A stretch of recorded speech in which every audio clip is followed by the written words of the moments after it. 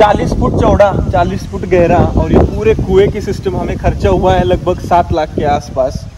और इस कुएँ में हमारा भी देखिए पानी पूरा भरा हुआ है। इसमें दो मोटर है, ये देखिए यार एक पाइप है, उधर एक पाइप है, उधर दो दो रस्सी है, इधर दो लाइट की वायर भी है, ये देखिए, केबल है। तो टोटल दो मोटर है पाँच पाँच एच की। दो मोटर हमने इसलिए डाली है बैकअप प्लान रहना चाहिए, एक अगर जल गई तो दूसरे से।